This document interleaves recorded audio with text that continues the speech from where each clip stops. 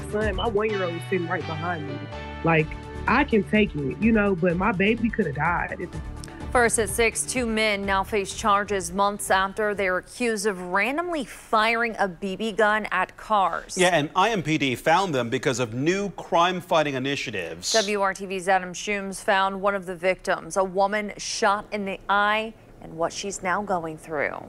Like my vision in my eye went out instantly instantly went out. For Ayana Alshire, she says the last couple months have been the most challenging of her life. So I had to like relearn how to do everything, like cooking. You know, I have little toddlers. They like to be around me, so I have to like double take. Alshire says she was shot as she was driving to get food in late May. I'm glad my fiance was in the car because I almost hit a pole and I had like my two little kids in the car, so it was real traumatic. But um, he grabbed the wheel and swerved back over. She says she was in the hospital for roughly a week.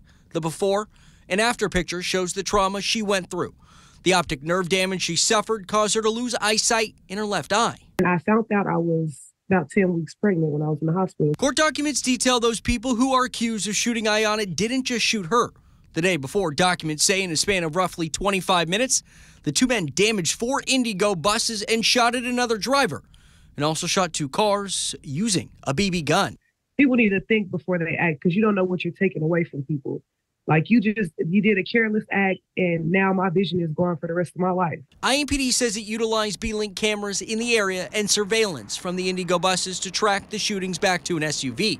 The owner of that SUV and his friend have now been charged with that crime. I think um, when all these tools that we have at our disposal are being utilized to get resolution in cases, to close cases, to hold people accountable. I think it speaks to the great work that our detectives are doing. For Ayana, she's just thankful that her kids weren't harmed. I think he would have kept doing it and somebody could have ended up even worse. Just like my son, my one year old was sitting right behind me.